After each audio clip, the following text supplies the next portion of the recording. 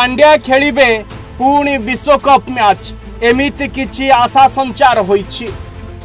ପୁନେର ବାଂଲାଦେଶ ବିପକ୍ଷ ମ୍ୟାଚ୍ରେ ବୋଲିଂ କରୁଥିବା ବେଳେ ବାମଗୋଡ଼ ଗୋଇଠିରେ ଆଘାତ ଲାଗିଥିଲା ହାର୍ଦ୍ଦିକ ପାଣ୍ଡ୍ୟାଙ୍କର ଫଳରେ ସେ ନ୍ୟୁଜିଲାଣ୍ଡ ଏବଂ ଇଂଲଣ୍ଡ ବିପକ୍ଷ ମ୍ୟାଚ୍ ଖେଳିପାରିନଥିଲେ ଆଉ ଏବେ ସୂଚନା ଆସୁଛି ହାର୍ଦ୍ଦିକଙ୍କ ସ୍ୱାସ୍ଥ୍ୟ ଅବସ୍ଥାରେ ଉନ୍ନତି ଆସୁଛି। ପ୍ରାୟତଃ ତାଙ୍କ ସ୍ୱାସ୍ଥ୍ୟ ଅବସ୍ଥା ଏବେ ସ୍ଥିର ରହିଛି। ଆଉ ଏବେ ସେ ମ୍ୟାଚ୍ ଖେଳିପାରିବେ ତାଙ୍କ ଅବସ୍ଥା ଏବେ ପୁରା ଭଲ ଅଛି। ଏଠି କହି ରଖିବା ପାଇଁ ଚାହିଁବୁ କ୍ରିକେଟ ବିଶ୍ୱକପ୍ରେ ଭାରତୀୟ ଦଳ ନିଜର ପରବର୍ତ୍ତୀ ଦୁଇଟି ମ୍ୟାଚ୍ ଶ୍ରୀଲଙ୍କା ଓ ଦକ୍ଷିଣ ଆଫ୍ରିକା ବିପକ୍ଷରେ ଖେଳିବ।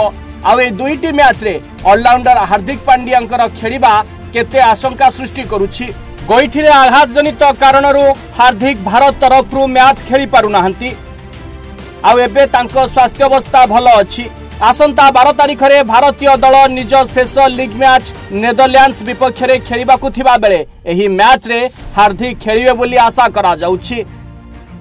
ଯାହା ସମସ୍ତଙ୍କୁ ଖୁସି ଦେଇଛି। ଏଠି କହି ରଖିବା ପାଇଁ ଚାହିଁବୁ ହାର୍ଦ୍ଦିକ ପାଣ୍ଡ୍ୟା ଆହତ ହେବା କାରଣରୁ ନ୍ୟୁଜିଲାଣ୍ଡ ଏବଂ ଇଂଲଣ୍ଡ ବିପକ୍ଷ ମ୍ୟାଚ୍ ଖେଳିପାରିନଥିଲେ ଯେଉଁଥିପାଇଁ ହାର୍ଦ୍ଦିକଙ୍କ ଅନୁପସ୍ଥିତରେ ଭାରତ ତରଫରୁ ମହମ୍ମଦ ସାମି ଓ ସୂର୍ଯ୍ୟ କୁମାର ଯାଦବ ମ୍ୟାଚ୍ ଖେଳିଥିଲେ।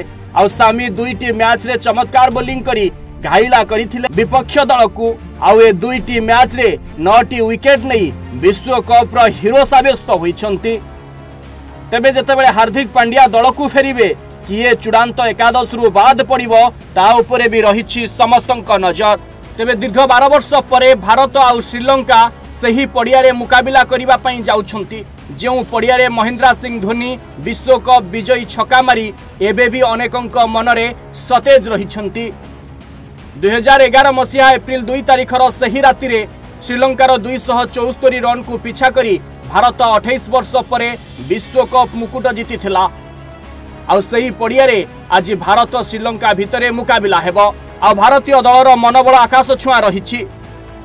ନିଜ ଖେଳାଳିଙ୍କ ଭିତରେ ଥିବା ଆତ୍ମବିଶ୍ୱାସ ଓ ଦକ୍ଷତା ଉପରେ ଭରସା ହିଁ ରୋହିତ ଶର୍ମାଙ୍କ ଦଳକୁ ଅର୍ଥାତ୍ ଭାରତୀୟ ଦଳକୁ ଶାଣିତ କରିଛି। ଅଷ୍ଟ୍ରେଲିଆ ବିପକ୍ଷରେ ଚେନ୍ନାଇରେ ପାଞ୍ଚ ତିନରେ ସ୍ଥିତି ହେଉ ଅବା ଇଂଲଣ୍ଡ ବିପକ୍ଷରେ ଦୁଇଶହ ଅଣତିରିଶ ରନ୍ରେ ସୀମିତ ଭଳି ପ୍ରତିକୂଳ ପରିସ୍ଥିତି ଭାରତୀୟ ଦଳକୁ ଲକ୍ଷ୍ୟଚ୍ୟୁତ କରିପାରିନାହିଁ। ତେବେ ଆକାଶ ଛୁଆ ମନୋବଳ ନେଇ ଆଜି ଭାରତୀୟ ଦଳର ପରଫର୍ମାନ୍ସ ଉପରେ ସାରା ବିଶ୍ୱର ରହିଛି ନଜର। Bureau report Odisha Bhaskar.